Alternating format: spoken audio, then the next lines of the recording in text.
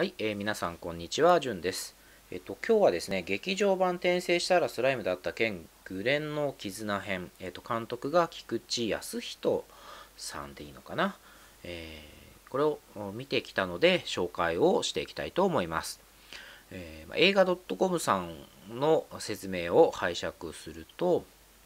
えーと、小説投稿サイト小説家になろう初の人気ライトノベルを原作とする異世界ファンタジーアニメ転生スライム転生したらスライムだった件の劇場版です。原作者、布施瀬さんが自ら原案を務めたオリジナルストーリーが展開すると。平凡なサラリーマンからスライムに異世界転生して、え、魔物たちの国、えー、テンペストを築き上げ仲間を救うためえ魔王の一人にまで上り詰めたリムル・テンペスト、これ主人公ですね。えー、彼があの魔国連邦あ、まあ、テンペストの西に位置する、えーと、ラージャ小亜国ではあ女王の持つ不思議な力をめぐる陰謀が渦巻いていた。うん、ちょっと違うんだけど、えー、ある日、リムルたちの前にオーガの生き残りであるヒーローが現れると。ベニマルたちの兄貴分だったというヒーローとの再会をきっかけに彼らは新たな戦いへと身を投じていくということですと。うんえーまあ、まずこの映画なんですが、うんまあ、正直おすすめはできないです。あでこの後すぐにネタバレを開始しますので、えー、ネタバレが嫌な方はすぐ映画館に行って見に見てください。まあ、最終的にねあの結局映画見ろっていう話なんだけどえっとまあさっきこの映画 .com のねあのえっと紹介もめっちゃ中途半端でえまああのいくつかやっぱりこうナロー系って言われているライトノベル、えっと、要は投稿サイトを初のウェブサイト初のまあ、ファンタジー小説っていうのも、えっとまあ、いくつかねやっぱ中心的な作品がある中の一つですね、えー、要はこう枝分かれをしていく中の結構太い幹になっている作品になってんじゃないのかなというふうに言われているのがこの転生したらスライムだった件なんですが、えっと、この作品が他のまあ、同じこう転生ものと言われているものにえー、まあ、比べて秀でてる点というか、まあ、あまりにも特徴的すぎる点っていうのは、えー、まあなんというかその能力をその異世界に転生したことで得て主人公は得るんですがその能力は、えー、なんというか、うんまあ、主人公どんどん強くなっていっちゃうんですよね。あの強い強大な敵を倒すたびにその相手の力を飲み込んでさらに強大化していく、まあ、最終的にはあっていうようなあ、まあ、お話なんですが、えー、その自分の存在意義とこう等しいようなあものがこうスキルになってタレントになっているのがこの世界観なんですけど、えーとまあ、そこに対するこううん感覚がこの映画には全くないんですよね。えっ、と一部やっぱり出てきているのは、えー、アニメーション作品とかあと漫画漫画版あんまり読んだ記憶がないんで、えー、そうなのかどうかわかんないですけどおそらくまあ漫画版がベースとなってるような気がするんですが、えー、基本的にはこのスキルとこのスきるに宿る意志というか、まあ、自分が宿らせる意志が重要っていう物語世界観になっているんですが、まあ、そこがポンと抜け落ちちゃってんじゃないのかなっていうことと、えー、まあ、主人公が誰なのかがよくわからないっていうかですね、えーと、物語のえっと、まず物語のスタート時点で、えっと、アニメーションの現在そのメインストーリーのところで2期でサブストーリーで1期やっていてメインストーリーではもうすでに、えっと、主人公が魔王になっているというかあの真真なる魔王 世界せあの小説の中で言うと真なる魔王に覚醒をしていて、えー、まあ世界の世界中見渡してもとりあえず今登場している人物の中では結構な上位者になっちゃってるっていうタイまあこれから原あの小説の方ではあとはまああの原作の投稿小説の方ではもっともっと強い人いっぱい出てくるんですけど、えー、もうすでに世界観的にはすげえ強くなっちゃってるっていうところで映画版ができているので、えー、なんというかまあ要は主人公のあの敵ではないんですよね。誰も主人公に対応、えーと、対することができるあの一般的な、えー、娯楽映画で、えー、見られるようなあ巨大な敵巨悪と呼ばれているようなものは出せない むしろそういう巨悪が巨悪が出せるのはまあこの世界観だとどうしてもメインストーリーに絶対関わってきてしまうので弱い人しか出せないんですよ。まそこがちょっとこうもったいないっていうかどうにかできなかったんかなっていう感じですよね。うん。まあ、改めてこの、えっ、ー、とえーまあ、感想を、まあ、紹介して感想を吹き込むためですね、えー、タイトル打ち込んでみると、まあ、どう見ても なんかねあのどっかから引っ張ってきたなっていうような頼むからこの変をつけるのだけはちょっとやめてほしかった。これおかしいよね。ねえ列車に乗っちゃいそうなね感じだもんね。でなんというか最終的な話の流れもなんか自己犠牲をっていうような、あ、そこはねちょっと面白かったんだよね。うんなんていうかね笑っちゃう最終的に。うんあのほんとねああいうのやめた方がいいかなと思うんですけどあのストーリー原案は確かに原作者かもしれないけどあの細かい脚本とか演出とかしたのはもうどう見てもあの監督さんたちだろうなと思うんですよね。絶対あのこの作者の人はこの映画を描かないと思うんですよ。であの多分どこどこがこう映画化できるのかなっていうかどこが突っ込めるのかなっていう時にえーまあこれから登場をする、え主人公リムルの部下になっていく、まあ、強い人たちのうち1人を早めに登場させてみて、えまあ、そことのこう、まあ、最初の圧力を作ってっていうような話があの裏のストーリーであるんですけどうーんなんかね。はい。で、まあ、ここからあの、本当にね、ネタバレというか、あの、実際見ていってもらうと、すごく分かりやすい、えー、まあ、分かりやすいというか、えっ、ー、と、いくつかのね、ダメポイントなんですけど、まず一つが映画の絵になっていないこと。えっと、アップが多すぎるんですね。アップが多すぎるので、情報量がどんどん少なくなっていっちゃうんですよ。で、えっと、個々人にすごく感情移入をさせしてほしいっていうような作りになってるんですけどその感情が全然あの複雑じゃないし分かりやすすぎるしでえっとまあ分かりやすくってあの悪いってことじゃない全部が全部悪いわけじゃないんですけど、えー、その誰に感情移入していいか分からないんですよね。全然。うん。で今回、えーとまあ、登場するヒーローとあとトワっていうその国のトップ女王様がいるんですけどトワさんってまあ女性の女王様にこう、うん、感情移入できるかというとトワの苦悩とか今までこう頑張ってきた姿とかが全然描かれないのでこの人はなんか生まれながらにしてこう女王になってしまってるように見えちゃう。そうじゃなくて普通の映画であれば今例えばディズニー映画とかであれば自分の身を犠牲にしてまで、えー、国を救おうとするっていうその犠牲にしていくっていうところでなんでそそこまでできちゃうのっていう、えー、ことが描かれない。だからあの感情移入できない、えー、そこに依存してんのかなっていうふうに見えちゃうんですよね。僕は少なくともそう見えちゃいました。あの依存先がないからで自分に他に能力もまともにこう運営する能力もないからまあ実際ないんですけどないから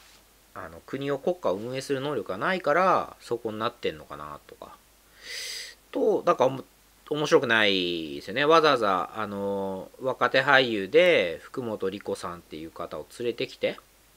うんまあまあ多分なんかのねあの大人の事情でここに入っちゃってるんだと思うんですけど、まあ、このキャラいらねえなっていう感じになっちゃうんですよ。ここが本当にもったいない。で、そのとはに、まあ、名付けをされてこう部下になるオーガの生き残りでヒーローっていうのが出てくるんですけど、まあ、今回の映画用に、えー、創作されたっていう話になるんですが、このヒーローというキャラクターについてもうん、まあ、描かれる事情っていうのは描かれる事情っていうのは当然あの、まあテンスラ本編でも描かれていたそのオーガの里が、えーと、格下の多くに蹂躙されて、えー、まあ、生き残りの数名を除いて全てあの食べられちゃうと殺されて食べられちゃったっていうあのまあ、お話のところからスタートするんでうんなんかタイミング的にもねあのもうなんかそれはもうとりあえず置いといてっていうあのでこの世界観ってその弱肉強食弱肉強食っていう話言葉がすごくいっぱい出てくるんですけど、えー、まあ、究極的には弱肉強食と言いつつ主人公が大事にしていること、まあ、まあ、つまりはその原作者、えー、まあ、小説家布施さんが大事にしていることっていうのは、えー、弱肉強食っていうのは暴力が最上とは言ってないんですよね。うんだから途中からというか、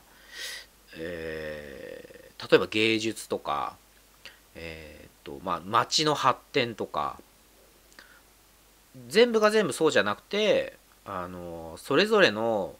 生き方とかを肯定していくリムルがどんどん強くなるって話なので、えー、弱肉強食と言いつつ弱肉強食であの勝負が決まらないっていう世界観なのに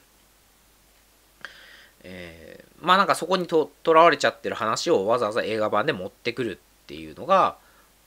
もうだってそれ本編でクリアしてるから、えっと、どういうことかというとお、えっと、多くにその、えっと、多くのその元部下あとオークロードっていうとてっぺんの人はリムルと戦って負けて、まあ、リムルが食っちゃうわけですけどその部下である、えっと、多くの元将軍を将軍以下あの生き残りを全部リムルは吸収しちゃう。吸収っていうのはあの食べちゃうことじゃなくて国の一員にしていくっていうでその中で、えーと、同じくその前に仲間になっていたオーガの生き残りの人たちはそれを許すんですよね。えー、あのまあ、あくまでもオークロードに、まあ、洗脳されてではないけれどもえーと、命令されて従うしかなかったでそのオークロードについても、え、まあ要はそれをオークロードをそそのかして騙したやつがいてっていうちゃんと伏線を張っておいて消化をしているにもかかわらずもう一回そこを出してきて、えー、スタートするとでこのヒーローっていうのはそういう悲劇的なあ過去があるっていうことをもう一回出してくるんですけどもうすでにそれを消化してクリアして強くなっていっている人たちがいるのにまたそこ出すんかいっていう感じなんですよね。からすごくこの小説のあの短編の一つとして後からつきつきあと付け足していくんであればまだしも映画一つの映画としてわざわざ今取り上げるかいそれっていう感じなんですよ。だったら、えっ、ー、と、アニメシリーズのサブの方のアニメシリーズで、テンスラ日記っていうのがあると思うんですけど、あの、そっちの路線で、えっ、ー、と、あとは漫画版でも、なんかいろんな、なんか、食べ歩きみたいな話とか、文化の方に振ってる話とか、あの、国としてのその文化経済芸術とかの発展の話みたいなものに振ってなんかのほほんとしてしたコメディ映画にしてもらった方が良かったんじゃないかなっていうふうに思いますね。で、あのコメディで言うと、ここもほんと最悪で、マジでこれが最悪なんですよ。えっ、と、コメディっていうのは、間が必要なんですよね。絶対、絶対に。笑うためには間が必要なんですけど、えっ、と、笑わせるために、え、わざわざ時間をとっている、シーンにおいて間がないんで笑えないんですよ。もうちょっとこう、うん、例えばなんかおかしいことを言った時になんかヒューと風が吹いて「てんてんてん」みたいな時間があってその間に笑えるんですよ。だけどこの映画なんかちょっと悲劇的なことがあった時にえっと一瞬で場面がどんどんどんどん切り替わっていくから笑うし間がなくてそのなんでそれ入れたのっていうシーンがいっぱいあるんですよね。あのもう途中で数えるのやめちゃったんですけど多分10や2 10じゃ済まないぐらいあの笑いを取ろうとしてだからあれと一緒あれと一緒あの人と一緒えっ、ー、とねえー、えっ、ー、とね佐藤なんとかさんののコメディリリーフでその福本監督がやっている、えっと、笑うための間を取らないでパッと切り替えちゃう。で笑いにならないっていうやり方。でその何て言うか、まあ、あの結構、ね、子供たちが見て見に来ていたので、まあ、親子連れでねあのだとしたらもうちょっとコメディちゃんとやらないと分かりやすくしないと意味が分かんないし、えー、本当に、えー、今回程度の敵しか、まあ、最初に言いましたけど敵しか出さないんであれば、あのー、主人公リムルが大なたを振るえば現場に到着すればもう終わっちゃう話なんですよ。でおまけにこの時のリムルってあのもう空間転移できるから、えー、もうなんちゅうか余裕すぎる。うん。だってテレポーテーションできちゃうんだもん、一人で。だからね、ほんとね、総じて、あのー、スタッフの人、だからアニメ版な、でもアニメだからアニメ版とかも、何なんだろうね、本当にあのー、うん、ちょっとね、これをだからわざわざ子供たちが見た時に、映画館ってこの程度のものなのかって思われたくないんですよ。これ何度も言ってるけど、あのこういう映画だったり、えっ、と、アイドルさん、まあ、某アイドル事務所が、こう、ミュージカルを、自分ちのこのミュージカルを映画化しましたって時の、あの、ひどさとか、あのまあ、他にもね、こう、あげたらキリがないんだけど、えっ、と、その、映画が好きじゃない人でも見に来てもらえるような映画で映画としての面白さを伝えない映画が一番嫌なんですよね。でこれはまさにそういう映画でうん。まああのうん。なんかねそのだからちゃんとした映画版で言うとあのソードアートオンラインのプログレッシブあの方は全然まともにチャレンジしようとしてるし映画にしようってまあ実際なってるからあのねそっち見に行ってほしい。でその上でこれ見てほしいな。ねどれだけ違うのかちゃんと見てほしい、うん、で見られた方がいいよ本当に。あのめっちゃ反省してって感じ。本当ありえないですね。でまあまあこの辺にしておきますけどえっと、まあ、転生したらスライムだった件に関しては、えまあ、えっと、小説家になろうのサイトでもう公開されてるし、まあ、実際そのライトノベルとしては書き直しをめっちゃしてるから、えっと、今アニメ化されてるところぐらいまでほぼ同じだったと思いますけど、まあ、その後どんどんどんどんあの違う世界観になっていくので、えー、といってもアニメになってるというかあの売られている販売さ小説として販売されている小説版が多分一番面白い作品かな、うん、だと思いますんで、えーまあ、ぜひあの布施瀬さんのえー、まあ、原作小説になっている 転生したらスライムだった件を今日はおすすめして、えー、終わりたいと思います。はい。えー、まあ、ちょっとね、えっ、と、何作か、えっ、と、ブラックパンサーとかね、えー、まあ、他の作品とかも見てえおいてあの紹介してないのがちょっと積み重ねちゃったんで、まあ、ぼちぼちゆっくりとあの紹介をしていきたいなと思いますので、え今後ともどうぞよろしくお願いします。ということで、え、今日は菊池康人菊池康人監督の劇場版転生したらスライムだった件、え、グレーンの絆編でした。はい。ではまた。